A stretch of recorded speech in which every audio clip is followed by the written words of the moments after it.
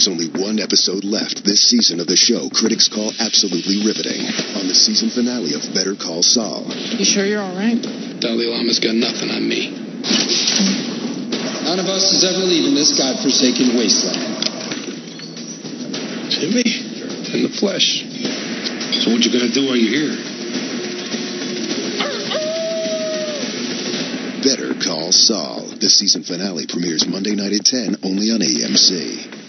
You've been injured in an accident, lost wages, incurred pain and suffering, slipped, fallen, or want to register a complaint against a loved one. Better call Saul. You're not a real lawyer. Catch up with every addictive, stunningly entertaining episode so far. The Better Call Saul Marathon starts Monday afternoon at 12:15 and leads up to the season finale at 10, only on AMC.